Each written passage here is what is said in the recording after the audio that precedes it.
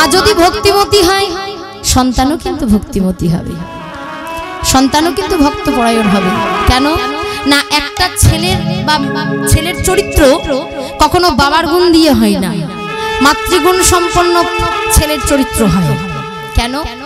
না, ত্রেতা যুগে রাবণ। ত্রেতা যুগে রাবণ পিতা ছিল বিশ্বসভা মুনি মা ছিল নিকষা। মা কেমন বংশের রমণী? মা হলো রাক্ষসিনী নিকষা। আর পিতা ছিল একনিষ্ঠ ব্রাহ্মণ। বিশ্বামিত্র মুনি হচ্ছেন একনিষ্ঠ ব্রাহ্মণ। তা সেই রাবণ পিতার মতো হয়ে উঠল না। হয়ে উঠল মায়ের মতো রাক্ষসিনী নিকষার মতো। তাই ওই রাবণের গোটা লঙ্কাপুরীটা কিন্তু রাক্ষস প্রবৃত্তি হয়ে গিয়েছিল। তাই বলছে, সন্তানের চরিত্র কোনোদিন পিতার গুণ দিয়ে হয় না, হয় মায়ের গুণ দিয়ে। আবার এদিকে হিরণ্যকশিপুর হিরণ্যাক্ষ, সন্তান প্রহ্লাদ। অসুরের কুলে জন্ম, অসুরের ছেলে প্রহ্লাদ। কিন্তু একদম ভক্ত হয়ে গেল। কেন? না তার মা কয়াধু, সে ছিল ভক্তিমতী রমণী। তাই মাতৃ চরিত্রে প্রহ্লাদ হয়ে উঠল ভক্ত প্রহ্লাদ। তাই বলছে কোন ছেলে চরিত্র কোনোদিন পিতার গুণ দিয়ে হয় না, মায়ের গুণ দিয়ে হয়। কিন্তু এখন কলিযুগের মারা কি করছে? সব সময় মোবাইল ফেসবুক হোয়াটসঅ্যাপ ইনস্টাগ্রাম এখন তো এসব চলছে, তাই হ্যাঁ? ইউটিউব চলছে হ্যাঁ। আর এই মারা দেখছে বলে ছেলে আমার ছোটবেলা থেকেই ওই ও টুনির মা তোমার টুনি কথা শোনে না। এটাই তো হচ্ছে। এখন মোবাইল না দিলে বাচ্চারা ভাত পর্যন্ত খাচ্ছে না। খাবার খাচ্ছে না। তাহলে ছেলের চরিত্র মায়ের গুণ দিয়ে তৈরি হচ্ছে তাই মা যদি ভক্তি পরায়ণ হয় সন্তানও ভক্তি পরায়ণ হতে বাধ্য। তাই সুশীলা দেবী যেখানে যায় সেখানে রুইদাসকে নিয়ে যায় কীর্তন শোনে সাধু সঙ্গ করে ভক্ত সঙ্গ করে। এবার কি হয়েছে? দেখতে দেখতে রুইদাস বড় হয়েছে। পঁচিশ ছাব্বিশ বছরের যুবক হয়েছে কিন্তু সংসারে মন নেই। সাধুগুরু বৈষ্ণবকে দেখলে আলিঙ্গন করে যেখানে হরিনাম সংকীর্তন হয় দিনের পর দিন হরিনাম সংকীর্তন আস্বাদন করে হ্যাঁ সংসার বলে মনে থাকে না। এবার কি হয়েছে? না পিতামাতার চিন্তা ছেলে বড় হয়েছে। ছেলে বড় হলে বাবা মায়ের একটা চিন্তা হয়। কি কর কি হয় চিন্তা মা? বিয়ে দিতে হবে। হ্যাঁ হ্যাঁ, এবার মাধব দাস আর সুশীলা, এরা চিন্তা করছে, ছেলের তো এবারে বয়স হচ্ছে, বিবাহের জন্য উপযুক্ত হয়েছে, এর তো বিবাহ দিতে হবে। তাই কি করল? এবার রুইদাসকে ডাকছে, বাবা, তোর তো মা আমাকে বিয়ে করতে বলো না। আমার বিবাহ, আমার সংসার করতে বলো না। আমি এই বেশ আছি। এমন ভাবে চিন্তা করছে পিতামাতা, এভাবে হলে হবে না। ওই রামানন্দ বাবাজিকে বলে পাঠাতে হবে। রামানন্দ বাবাজির কথাও অগ্রাহ্য করতে পারবে না। তাই কি করেছে? বাবাজির কাছে গিয়ে বলছে, বাবাজি, আপনাকে একটা আমার হয়ে কাজ করতে হবে, বলো মা। না, আমার ছেলে রুইদাস বলছে, বিবাহ করব না। কিন্তু বিয়ে তো দিতে হবে। রামানন্দ বাবাজি বলল, ঠিক আছে, কালকে সকালবেলায় তোমার ছেলেকে আমার আশ্রমে পাঠিয়ে দিই যেই না বলেছে, এবার রাত্রিবেলায় রুইদাস এসেছে, আর এদিকে তার মা বলছে যে, খোকা, শোন, তোকে গুরুজি একবার ডেকে পাঠিয়েছে। একবার গিয়ে দেখে আসিস তো, তোকে কি বলবে? যেই না বলেছে ভক্তিপরায়ণ সন্তান। তাড়াতাড়ি সকালবেলায় স্নান করে, শুদ্ধ বস্ত্র পরে ছুটতে ছুটতে গুরুজির কাছে এসেছে। গুরুজি, আপনি আমায় কিছু বলছেন? আপনি ডেকে পাঠিয়েছেন? শোনো রুইদাস, আগে একটা কথা বলো। বলুন গুরুজি, আমি তোমার কে? আর তুমি আমার কে? যেইটা বলেছি, এমন সময় রুইদাস বললেন, গুরুজি, আপনি হলেন আমার প্রভু, আর আমি আপনার চরণের দাস। তাহলে আমি যা বলব তুমি তাই শুনবে? হ্যাঁ প্রভু, আপনি যা বলবেন আমি তাই শুনব। বেশ, তবে শোনো, আমার চরণে হাত দিয়ে বলো, আজ আমি তোমাকে যা বলব তুমি তাই শুনবে। বেশ গুরুজি, আপনি যা বলবেন আমি তাই শুনব। যেই না বলেছে, চরণে হাত দিয়ে যেই না প্রতিশ্রুতিবদ্ধ হলো, এমন সময় রামানন্দ ব্রহ্মচারী বলছে, শোনো রুইদাস তোমাকে কথা দিতে হবে। তুমি বিবাহ করবে। যেই না বলেছে বিবাহ করবে না, গুরুজি। এমন কথা বলবেন না। গুরুজি, আমি বিবাহ করব কি করে? আমি সংসার করতে পারব না। কেন সংসার করতে পারবে না? আমি যে কোনো রোজগার করি না, গুরুজি। আমি তো কোনো অর্থ উপার্জন করি না। আমি টাকা পয়সা রোজগার করি না। আমি আমার স্ত্রীকে কি খেতে দেব? আমি সংসার প্রতিপালন কি করে করব? যেই না বলেছে আমি সংসার প্রতিপালন কি করে করব? আমি অর্থ উপার্জন করি না কেন? মুচির ঘরে জন্ম নিয়েছো। তোমার আবার কাজের চিন্তা? গুরুজি, কি করব? কেন? তুমি মুচির ঘরে জন্ম নিয়েছো, প্রত্যেকদিন দু জোড়া জুতো সেলাই করবে। এক জোড়া জুতো দান করে দেবে, আর এক জোড়া জুতো বিক্রি করে যা পাবে, সেটা তোমার সংসার প্রতিপালন হবে। যেই না বলেছে, এমন সময় রুইদাস বলে যোগো গুরুদেব আমি দুই জোড়া জুতো সেলাই করব, এক জোড়া বিক্রি করে দেব, এক জোড়ায় আমি দান করব কিন্তু গুরুদেব, এইভাবে যদি আমি জুতো সেলাই করে দিন পার করি, তবে গুরুজি বলি, আমার কৃষ্ণ সেবা।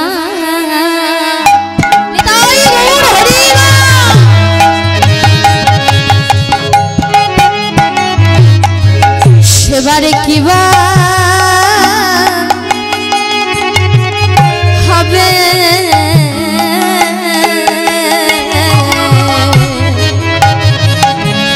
গো গুরুজি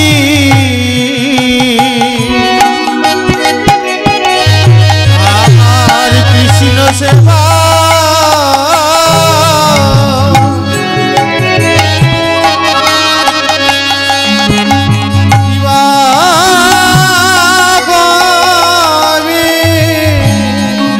আমার নর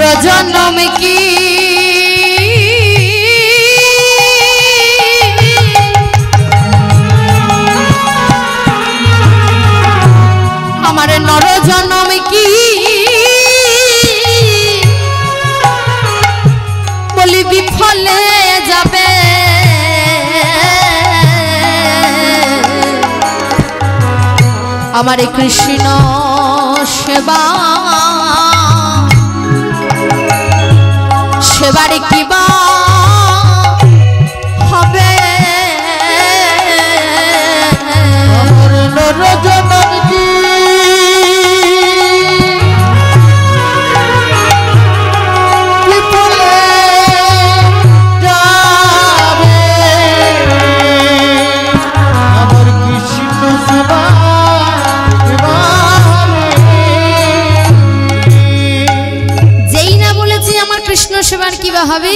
এমন সময় গুরুদেব বলছে, দাঁড়া বাবা, এক কাজ কর।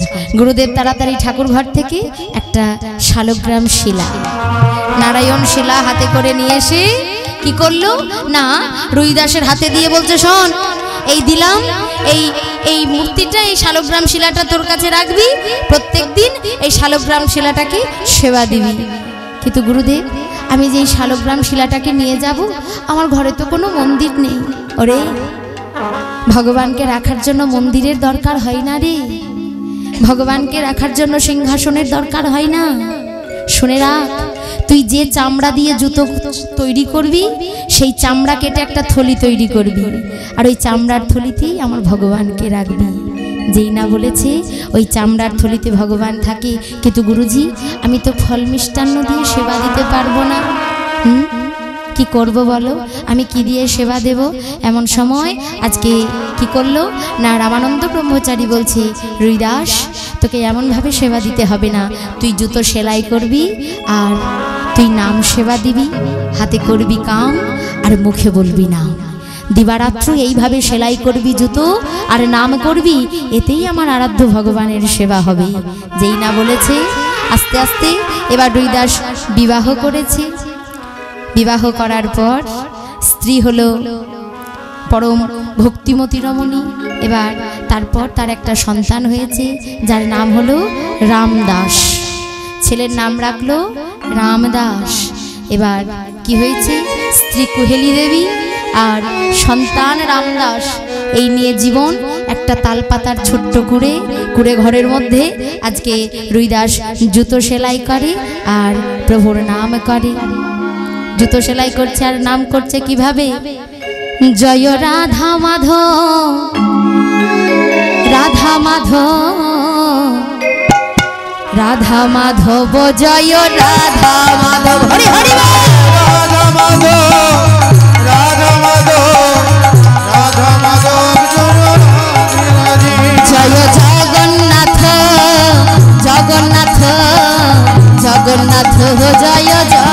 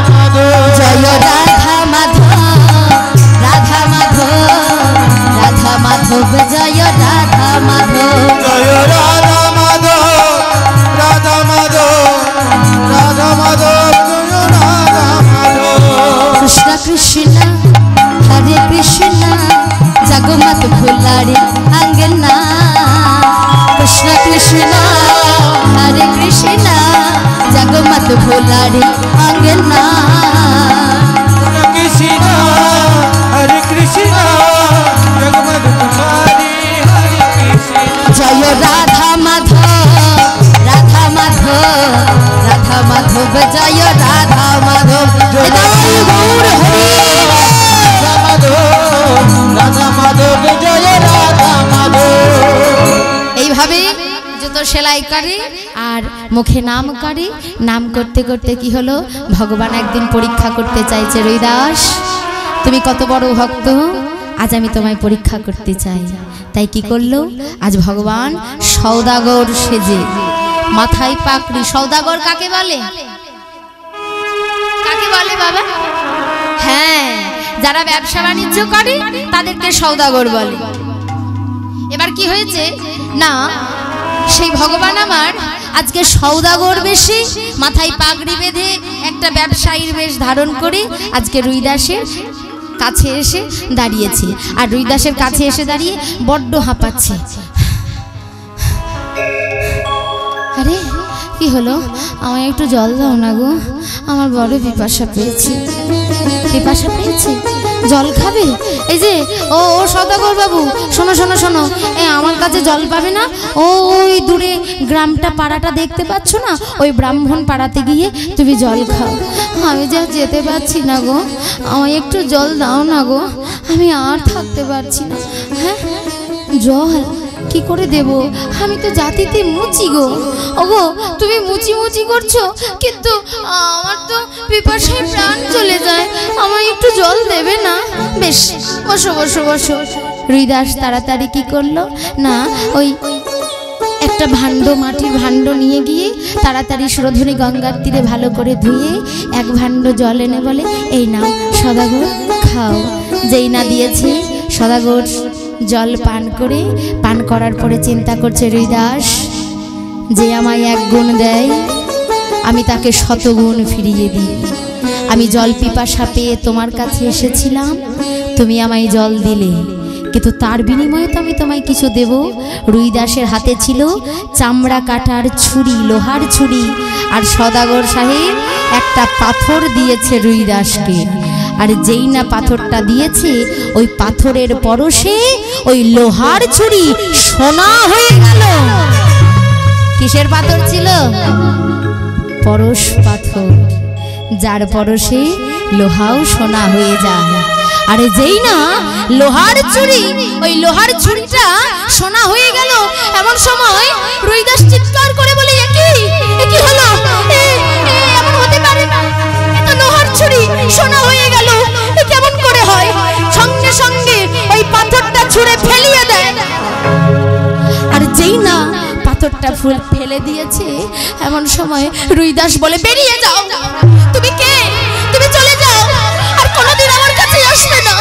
কোনোদিন আমার কাছে জল খেতে আসবে না। দূর হয়ে যাও। আমি চাই না।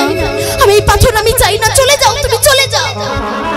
যেই না বলেছে ভগবান মনে মনে খুশি হল। ভক্ত, আমাকে চাই। পরশ পাথর চাই ভক্তের মতো যদি কেউ ভক্ত হতে পারে, তাহলে সে কোনোদিন ওই পরশ পাথরের আশা করবে না। সে ভগবানের চরণ পাবার আশা করবে। সৌদাগর বেশে ভগবানে মনে মনে খুশি হলো রুইদাস। তুমি পরশ পাথরকে ভালোবাসো না। তুমি আমায় ভালোবাসবা রুইদাসবা এমন সময় ভগবান আমার ওই পরশ পাথরটার নিয়ে গেল না। কি করল? নিজে রুইদাসের খড়ের চালের মধ্যে গুজে দিয়ে গেল। দিনের পর দিন চলে যায়, এত অভাব। একবেলা খেতে পাই, একবেলা খেতে পাই না। তবু গোবিন্দের নাম কিন্তু বন্ধ করে না। স্ত্রী কুচেলা দেবী বলছে, স্বামী অভাব। এক জোড়া জুতো দান করে দাও এক জোড়া জুতো তুমি বিক্রি করো। আর ওই এক জোড়া জুতো বিক্রি করে আর যে সংসার চলে না স্বামী কি করে চলবে বলো? এক কাজ করলে হয় না, যদি তুমি আরও এক জোড়া জুতো তৈরি করো। রুইদাস বলল, শোনো, আমি গুরু বাক্য লঙ্ঘন করতে পারব না। আমার গুরুদেব বলেছে, দুই জোড়া জুতো তৈরি করতে। আর ওই এক জোড়া দান করতে এক জোড়া বিক্রি করতে শোনো, আমি আমি গুরুবাক্য লঙ্ঘন করতে পারব না। তবে স্বামী, আর যে সংসার চলে না, এখন কি করব? ছেলেকে ভালো করে খেতে দিতে পারি না? ছেলে দিনের পর দিন কাঁদে দুটো খাবারের জন্য। এত অভাব, আমি যে আর ছেলেকে, আমি ছেলের বিষণ্ণ মদনের দিকে থাকতে পারি না। এমন সময় কি হয়েছে? রুইদাস বলছে যে, ছেলে যখন কাঁদবে, তখন তুমি তার কানের কাছে কৃষ্ণ নাম শোনাবে। যেই না বলেছে নাম শোনাবে এমন সময়। কুহেলি দেবী বলে, স্বামী, কতবার তোমার কথা শুনে সন্তানের কর্ণকুহুরে নাম শোনায়। কিন্তু নাম শোনালেও তাতে খিদে তৃষ্ণা মেটে না। এখনও বলো আমি কি করব? সন্তানের খিদে তৃষ্ণা মেটানোর জন্য। রুইদাস বলে গো কুহেলি গো, আমি তো আমার গুরু বাক্য লঙ্ঘন করতে পারব না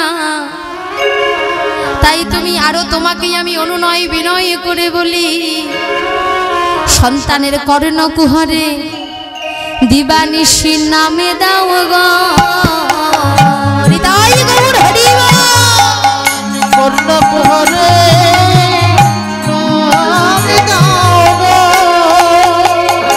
যে নামে সবে তৃষ্ণা।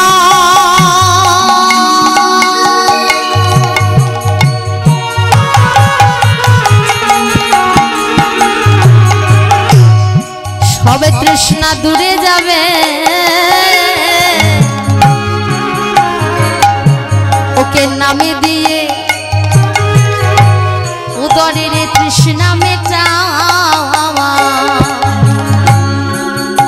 যে নামে তৃষ্ণ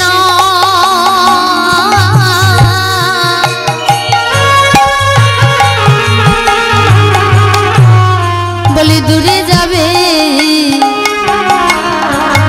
ওকে নামে দিয়ে খুদা তৃষ্ণা মেটা কহেলি, ওর কর্ণ কোহরে কৃষ্ণ নাম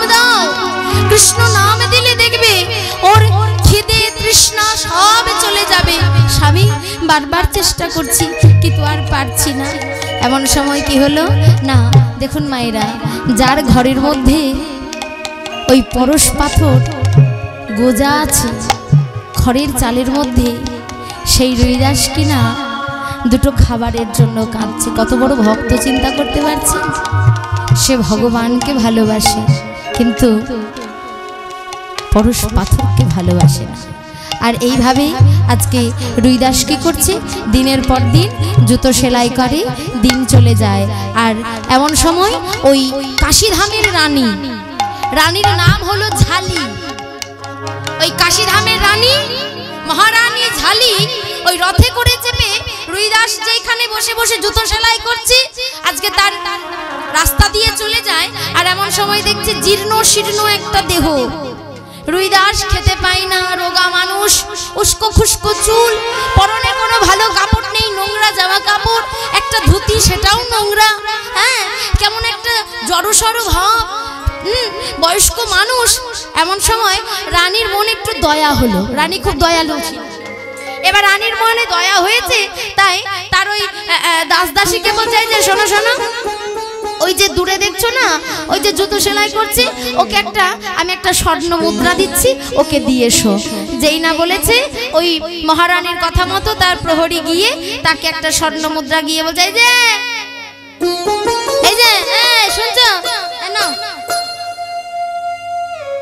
এমন সময় বলছে, এটা কি? এটা সোনার মুদ্রা, সোনার টাকা। রানীমা তোমায় দিল। এটা আমি নিতে পারব না। কেন পারবে না? এত বড় স্পর্ধা তোমার? অহংকার তোমার? আমাদের রানীমা তোমাকে সোনার টাকা দিচ্ছে আর তুমি বলছো নিতে পারবে না। ওগো একটা কথা বলব কিছু মনে করবে না? বলো। না তোমাদের রানীমায়ের এখনও গুরু দীক্ষা হয়নি। আর গুরু দীক্ষা হয়নি বলে তার দেওয়া দান আমি গ্রহণ করতে পারব না। হ্যাঁ? এ তো বিরাট ব্যাপার। এমন সময় রানীমা কাছে এসে বলছে রানীমা টাকাটা রাখুন কেন? ও বেটা নিল না। বড্ড ওর ঘ্যাম হ্যাঁ? বড্ড অহংকার। কেন? বলল, এই টাকা সে নিতে পারবে না। তুই জিজ্ঞেস করিস নি? যে তুমি কেন নেবে না? জিজ্ঞেস করেছিলাম। বলল, আপনার নাকি এখনও গুরু দীক্ষা হয়নি। যেই না বলেছে, মহারানীর চৈতন্য চলে এসেছে, তাই তো? গুরু দীক্ষা ছাড়া, গুরু দীক্ষা যদি না গ্রহণ করা হয়, ভগবান কোনো সেবা গ্রহণ করে না। আর ভগবানের যারা ভক্ত হয়, গুরু দীক্ষা যদি না থাকে, তবে তারাও সেবা গ্রহণ করে না। তাই এমন সময় কি হলো? রানীমা তাড়াতাড়ি রথ থেকে নামছে। আর গাদা মানুষ কাতারে কাতারে লোক জড়ো হয়ে গেছে। মনে মনে চিন্তা করছে, রানীর মুখের ওপরে কথা বলেছে, এ আর রক্ষা নেই। কেন বলুন তো মা, দেখবেন কোথাও যখন কোনো ঝগড়া ঝামেলা হয়, তখন আমরা যারা পাবলিক থাকি, আমাদের দেখতে বড় ভালো লাগে। মজা নিতে ভালোবাসি তো আমরা হ্যাঁ হরিবল হরিবল তা সবাই চিন্তা করছে এই রানীমা মনে হয় নেমে গিয়ে ওকে আছা করে দেবে হ্যাঁ? এবার সবাই চিন্তা করছে আর এমন সময় কি হলো? তাড়াতাড়ি রানীমা ছুটতে ছুটতে ছুটতে ছুটতে এসে আজকে রুইদাসের চরণ দুটো ধরেছে আর রুইদাসের চরণ দুটো ধরে বলে গুরুদেব গুরুদেব কেন? এ কি বলছেন আপনি? হ্যাঁ? আমি সামান্য একটা মানুষ আমার নাম রুইদাস আপনি আমাকে গুরুদেব বলে ডাকছেন কেন গুরুদেব? যার তার কাছে দীক্ষা নেওয়া যায়। কিবা বিপ্র কিবা শূদ্র, ন্যাসী কেন নয়? হ্যাঁ? যেই গুরু তত্ত্ববেত্তা, সেই তো গুরু হয়। এখানে গুরুদেবের কোনো বিচার হয় না। যেই কৃষ্ণ নাম তোমাকে আত্মশুদ্ধি করে দেবে, সেই হবে তোমার গুরু। তাই কি করল? আজকে রানীমা কি করেছে? না, আজ রুইদাসের চরণ দুখানা ধরেছে। আর চরণ দুখানা ধরে কি করছে? আজ রুই দাসের চরণ ধরে। তখন কহে রানী, কৃপা করি।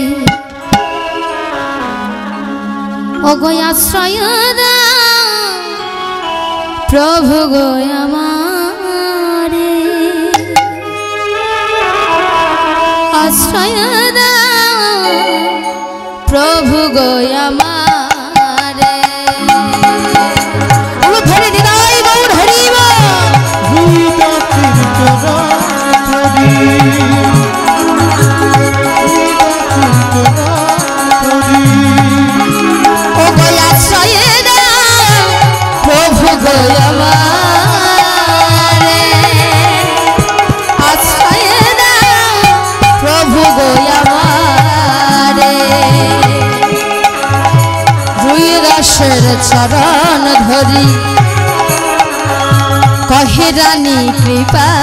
করি ও গয়া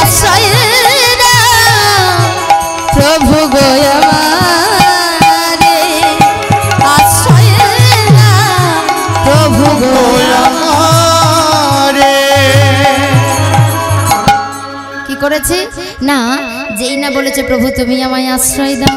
তুমি ছাড়া আমাকে কেউ রক্ষা করতে পারবে না। এমন সময় ঝালি ওই কাশীধামের রানী ঝালিকে দীক্ষা দিয়ে আজ কি করল? তাকে পাঠিয়ে দিল। আর এদিকে রুইদাস বসে আছে। এমন সময় কি হয়েছে?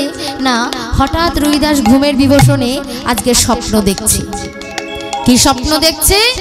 না, স্বপ্ন দেখছে তার ঘুমের ঘরে স্বপ্নের মধ্যে ওই সৌদাগর আবার এসে রুইদাসকে ডাকছে। রুইদাস রুইদাস। কে? তুমি আবার এসেছ? চলে যাও চলে যাও। তুমি আবার এসেছ? চাই না আমার পরশমণি পাথর। চলে যাও তুমি। আমি চাই না ওই পরশমণি পাথর। রুইদাস আমি ওই পরশ পাথর নিতেই আসিনি গো। দাঁড়াও দাঁড়াও। আচ্ছা তুমি কি করে জানলে?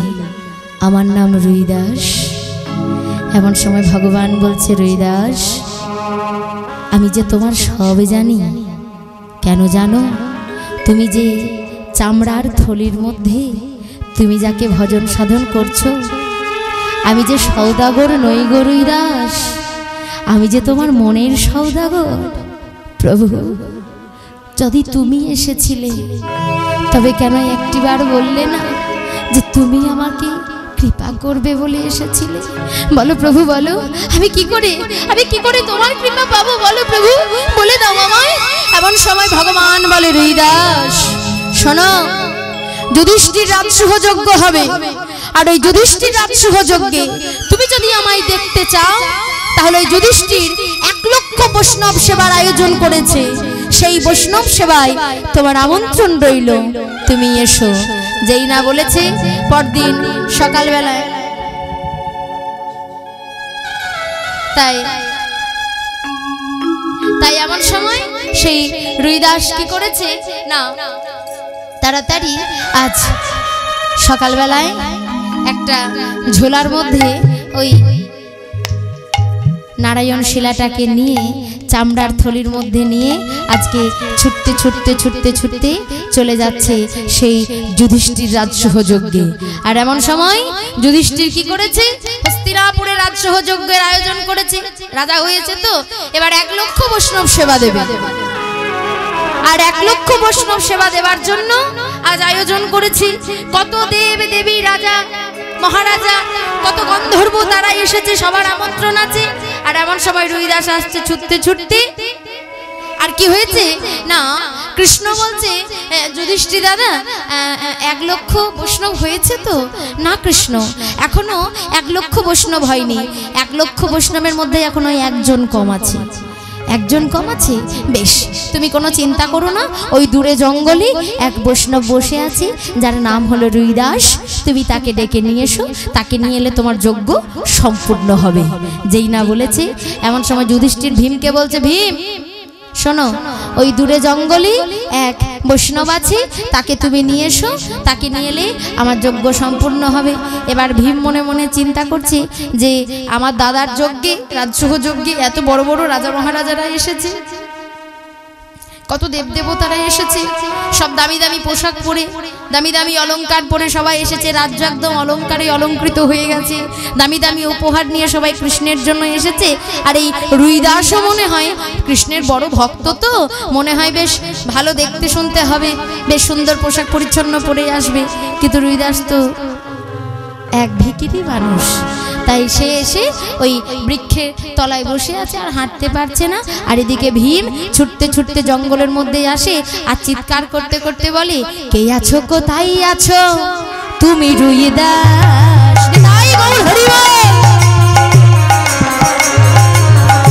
আছো? কোথায় আছো? তুমি কে আছো? কোথায় আছো? তুমি রুই দাস সে আছো? কোথায় আছো? তুমি রুইদা জগৎপতি শ্রী গোবিন্দ থাকে যার পাশ। জগৎপতি শ্রী গোবিন্দ থাকে যার পাশ। যেই না, রুইদাস রুইদাস রুইদাস বলে চিৎকার করতে করতে চলে যায়। এমন সময় কি দেখছে? না, গাছের নিচে একজন জীর্ণ শীর্ণ দেহ বসে আছে, পরনে একটা ছেঁড়া কাপড়, উস্কো খুস্কো চুল। বয়স হয়ে গেছে, ছিয়াত্তর বছর বয়স তখন রুই রুইদাসের। আর চলার ক্ষমতা নেই। এমন সময় তাকে দেখে ভীম বলতে লাগল, এই যে এই যে, বলে এখানে রুইদাস বলে কাউকে দেখেছ? যেই না বলেছে রুইদাস বলে কাউকে দেখেছ? এমন সময় সেই রুইদাস বলতে লাগল, আগে আগে আমি রুইদাস হ্যাঁ? তুমি রুইদাস ছি ছি ছি। মনে মনে চিন্তা করছে, বাবা, এ চুলে তেল নেই, উস্কো খুস্কো চুল। হ্যাঁ? হ্যাঁ পাকা দাঁড়িয়ে যাই রাধে। এ বয়স হয়ে গেছে তো। হ্যাঁ এ কেমন চেহারা। এই বাবা কৃষ্ণ একে ডেকে পাঠিয়েছে। দূর আমি নিয়ে যেতে পারব না। এত রাজা, মহারাজা, দেবদেবীরা কত গন্ধর্ব এসেছে। আমার দাদার রাজসহ যোগ দে আর সে কিনা এত বৈষ্ণব আসবে আর এ কিনা? গা থেকে এত দুর্গন্ধ বেরোয়? এই, সরে দাঁড়াও সরে দাঁড়াও। হ্যাঁ এমন সময় রুইদাস বলছে, "আ- আ- আগে আমায় ডাকছেন কেন? কি হয়েছে? না, শোনা। মনে মনে চিন্তা করছে, একে যদি না নিয়ে যায় তাহলে আবার দাদা রাগ করবে। তাহলে একে নিয়েও যেতে হবে কেননা কৃষ্ণ বলে দিয়েছে। তাই কি করেছে? না বলছে, শোনো, চলো চলো চলো তো তুমি আমার সঙ্গে। এমন সময় কোনো রকমে সেই ঝোলাটা নিয়ে এভাবে চলে যাচ্ছে। আর ভীম যাচ্ছে আগে আগে, রুইদাস পেছনে পেছনে যাচ্ছে, মনে মনে চিন্তা করছে হ্যাঁ যে ওই ঝোলাটা নিয়ে এত কষ্ট করে যাচ্ছে, ওকে একবার আমার ক্ষমতা দেখাতে হবে। ভীমের গায়ে কত ক্ষমতা? দশ হাজার হাতির ক্ষমতা একা ভীমের। এবার দশ হাজার হাতির ক্ষমতা যদি কোনো মানুষের শরীরে থাকে, তাহলে তার ক্ষমতা কত হবে বোঝা যাচ্ছে তো হ্যাঁ?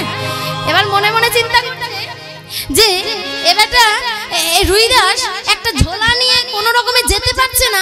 আমি দেখাচ্ছি, আমার ক্ষমতার পরিচয় দিতে। এই যে, শোনো শোনো। এই যে ঝোলাটাই কি আছে? যেই না বলেছে ঝোলাটাই কি আছে? এমন সময় বলছে, তুমি তোমার ঝোলাটা দাও, আমি নিয়ে যাচ্ছি, তুমি আমার সঙ্গে একটু আগে আগে চলো। হাকে বাবু হ্যাঁ আপনি আমার ঝোলাটা ছোবেন। ছোবো না, নামিয়ে দাও নামিয়ে দাও। যেই না বলেছে, এমন সময় ঝোলাটা নামিয়ে দিয়েছে, আর ভীম কি করেছে? মনে মনে চিন্তা করছে আমাকে শক্তির পরীক্ষা দিতে হবে এখানে। আমার কত শক্তিকে দেখাতে হবে, তাই বাম হাতের কনিষ্ঠ আঙুলে ঝোলাটা তোলার চেষ্টা করছে।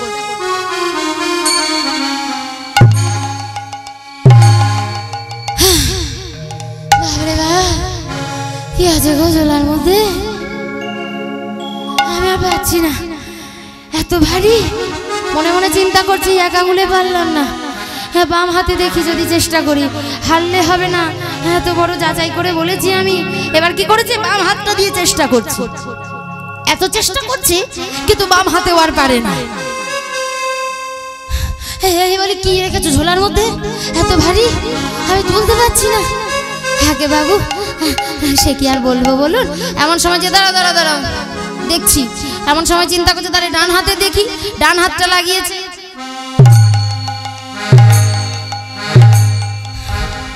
বাবা, হচ্ছে না। এখন কি করা যায়? মান সম্মানের ব্যাপার আছে প্রেস্টিজ বলে একটা ব্যাপার আছে তো? এক কাজ করি, ডান হাতেও যখন হলো না, এবার দুটো হাত দিয়ে নিশ্চয়ই হবে। তাহলে দুটো হাতে একবার চেষ্টা করি, এবার দুটো হাত দিয়ে দেখ।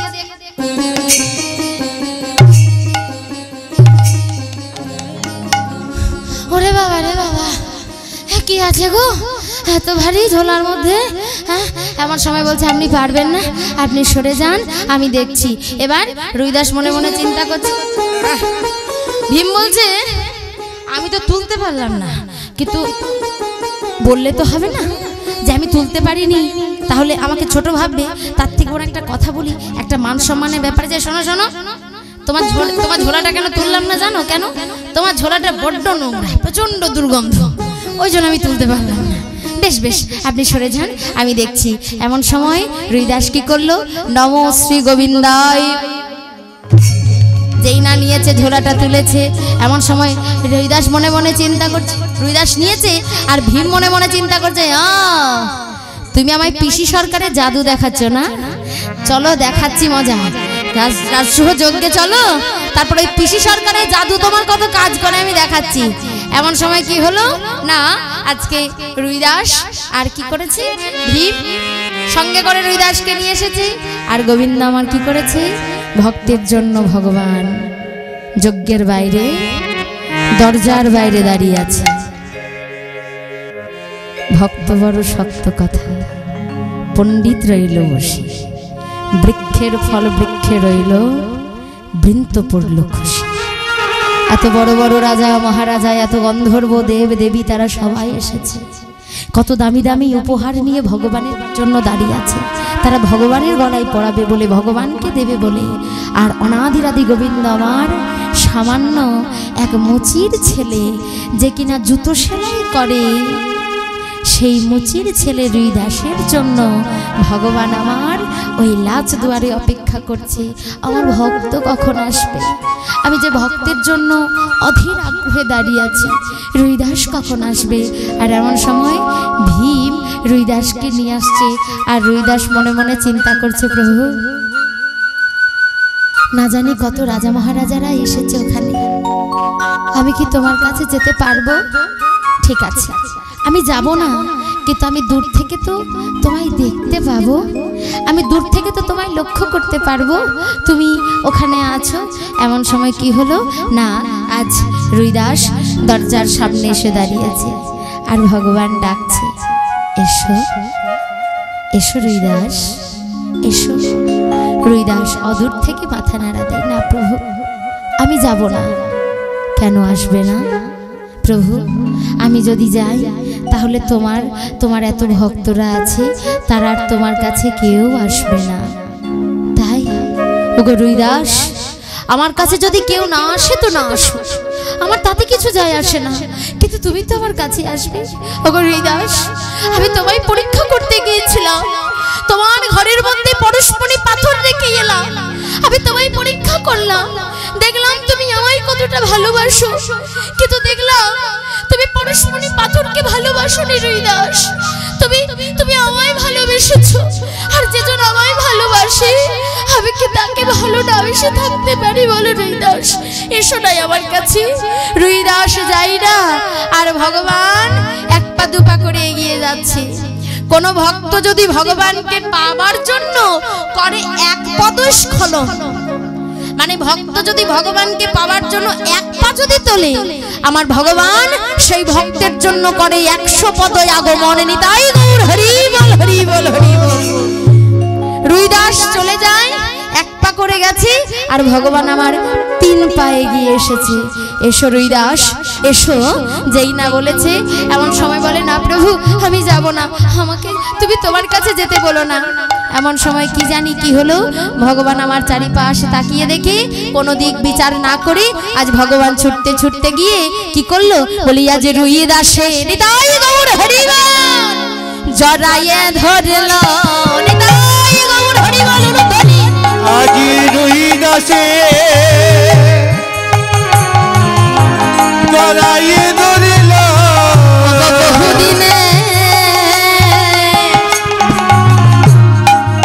হৃদাস আমার মনে আশা ছিল। আজ রুইয়ে দাসে জড়াইয়া ধরল। বহুদিনে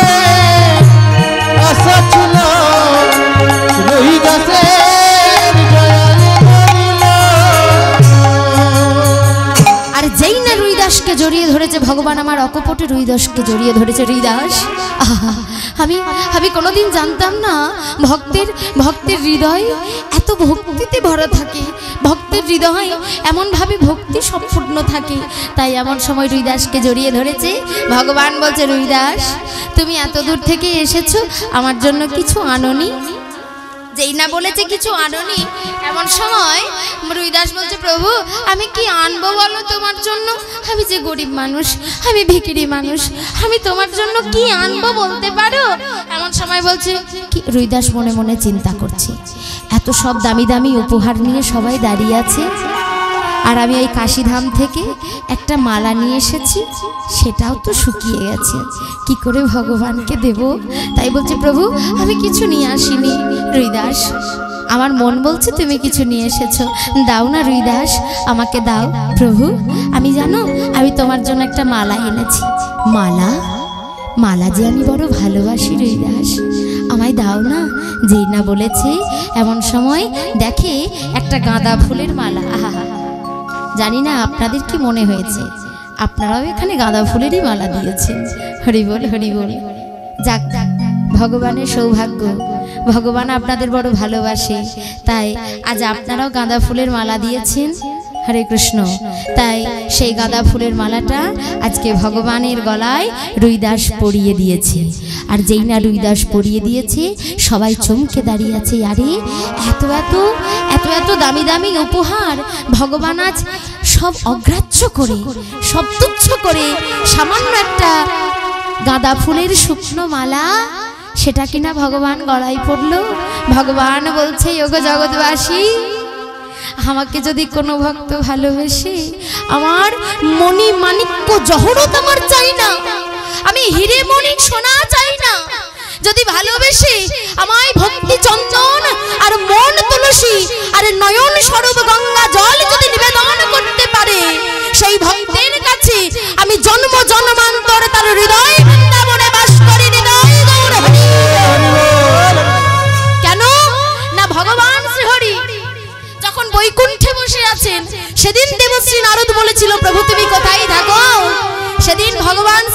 বলেছিল নারদ? নাহং পৃষ্ঠামি বৈকুণ্ঠে। যোগিনং হৃদয়ং নাচো। মদ ভক্ত চত্র গায়ন্তি, তত্র তিষ্ঠামি হে নারদ। নারদ, আমি যোগীদের কাছে থাকি না, আমি ঋষিদের কাছে থাকি না, আমি মুনিদের কাছে থাকি না। প্রভু, কোথায় থাকো? ওগো নারদ, যেখানে আমার এমন সুন্দর সুন্দর সরল ভক্ত থাকে যাদের বদন দেখলে আমি আমার নিজের আবেগ রাখতে পারি না, যেখানে আমার ভক্তরা থাকে, আমি সেই ভক্তের হৃদয় বৃন্দাবনে বিরাজ করি গৌর, হরি ভগবান, না থাকে বৃন্দাবনে, না থাকে নবদ্বীপে। মন বৃন্দাবন একবার খুঁজে দেখবে, এই হৃদয়ের মধ্যেই আমার ভগবান বিরাজ করছে। এমন সময় কি হলো? এবার বৈষ্ণব সেবার আয়োজন করেছে। বৈষ্ণব সেবা দিচ্ছে। আর বৈষ্ণব সেবা দিচ্ছেন কি? মা দ্রৌপদী। দ্রৌপদী বৈষ্ণব সেবা দিচ্ছেন। এক লক্ষ বৈষ্ণবের সেবা। একজন বাকি আছে। আর কি হলো? আজকে তো জয় ঘণ্টা বাজছে। কেন আজকে পঞ্চপাণ্ডব জয়ী হয়েছে ধরুন? সেই উপলক্ষে রাজসহযোগ্য সেখানে জয় ঘণ্টা বাজে। আর ঘণ্টা বাজছে আর দ্রৌপদী সেবা দিচ্ছে। এমন সময় কি হলো? আজকে ছাপ্পান্ন রকম ব্যঞ্জন ভোগ রন্ধন করে যেই না দিয়েছে, এমন সময় কি করল? রুইদাস ওই তরকারি, অন্ন, পায়েস যা কিছু ছিল সব কিছু মেখে যেই না খেতে যাবে, ঠিক সেই সময় মা দ্রৌপদী মনে মনে একটা কথা ভেবে নিল কি? মুচি হয়ে লুচির মর্ময় আর কি বুঝবে? যেই না ভেবেছে, এমন সময় যে জয় ঘণ্টা বাজছিল, হঠাৎ ঘণ্টা বন্ধ হয়ে গেল। আরে যেই না ঘণ্টা বন্ধ হয়ে গেল, কৃষ্ণ মনে মনে চিন্তা করছে, এ কি? এ তো হতে পারে না। ঘণ্টা কেন বন্ধ হলো? কেন ঘণ্টা বন্ধ হয়ে গেল? অন্তর্জামী ভগবান সব বুঝতে পারলেন। দ্রৌপদীকে বলল, দ্রৌপদী, কি করেছ তুমি? এ কি করলে? কেন? কেন ভ্রাতা? কি হয়েছে? আরে আজকে ঘণ্টা কেন বন্ধ হলো? নিশ্চয়ই কোনো অনিয়ম হয়েছে। নিশ্চয়ই বৈষ্ণব সেবায় কোনো ত্রুটি হয়েছে। কেন? না শাস্ত্রে বলল, বৈষ্ণবেতেই হয় যদি ক্ষুদ্র অপরাধ মহা মহা ভোজন হইতে পড়ে যাই বাজ। বৈষ্ণব অপরাধ করবেন না। হ্যাঁ যেই না বলেছে, এমন সময় দ্রৌপদী কৃষ্ণের চরণ দুটো ধরে বলে, শাখা, আমায় ক্ষমা করো। আমি আমি নিজের অজান্তে আমি একটা অহংকারের কথা বলে ফেলেছি। অহংকার? তুমি জানো না? অহংকারে কোনোদিন ভক্তের সেবা হয় না। অহংকারে কোনোদিন বৈষ্ণবের সেবা হয় না। নয়ন জলে যদি বুক না ভাসাতে পারো, নয়ন জলে যদি ভক্ত চরণ ধোয়াতে না পারো, তবে সেই সেবা ভক্ত গ্রহণ করে না। যেই না বলেছে, এমন সময় বলছে, সখা, তুমি আমায় ক্ষমা করো, ভুল। আমি তোমায় ক্ষমা করতে পারব না। কেন? তুমি যার কাছে অপরাধ করেছ, তুমি তার কাছে ক্ষমা চাও। যেই না বলেছে এমন সময় দ্রৌপদী তাড়াতাড়ি রুইদাসের কাছে এসে বলে, রুইদাস, তুমি যখন ওই ছাপ্পান্ন ব্যঞ্জন একসঙ্গে মেখে যখন তুমি খেতে যাচ্ছিলে না, তখন আমি একটা কথা বলে ফেলেছিলাম যে মুচি হয়ে লুচির মর্ম কি বুঝবে? আর সেটাই আমার অহংকার হয়ে গিয়েছিল। এমন সময় রুইদাস বলছে মাগো আমি সব একসঙ্গে কেন মেখে সেবা করলাম জানো? কারণ আমার প্রথম সেবাটা আমি আমার ভগবানকে নিবেদন করি। একটা একটা করে সেবা নিবেদন করলে তো এঁঠো হয়ে যাবে। তাই সব একসঙ্গে নিয়ে আমি ভোজনে চ জনার্দন বলে আমি সেবা করি।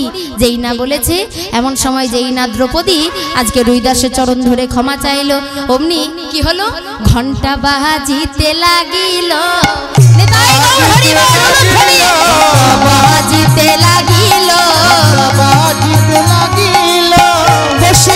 সেবাই ঘণ্টা বাজিতে লাগিল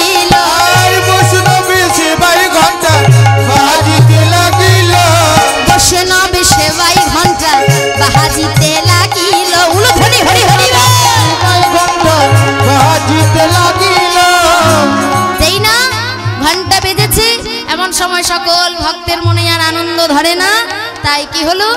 আজকে রুইদাস দাঁড়িয়ে আছে। আর ভগবানের চরণে প্রণাম করে বলছে, প্রভু, এবার আমায় বিদায় দাও। বিদায় নেবে মানে? বিদায় তো তোমার হবে না। এসো, তুমি আমার কাছে এসো। তাই আজকে রুইদাসকে ভগবান নিজের কাছে করে নিয়েছে। এবার কি বলেছিল? এবার একটা কথা বলুন। রামানন্দ ব্রহ্মচারী আশীর্বাদ করেছিল। কি আশীর্বাদ? যে জগৎপতি শ্রী গোবিন্দ তোকে একদিন জড়িয়ে ধরবে কেন? না যে হৃদয়ের মধ্যে তোর এত গুরু ভক্তি। তাই অভিশাপ আর আশীর্বাদ দুটোই তার সম্পূর্ণ হলো। তাই আপনাদের হৃদয় বৃন্দাবনেই আজকে ভক্ত এবং ভগবানের মিলন রাখব যাই রাধে। তাই চলুন যাবার সময় আনন্দ করতে করতে আমরা ঘরে ফিরে যাব।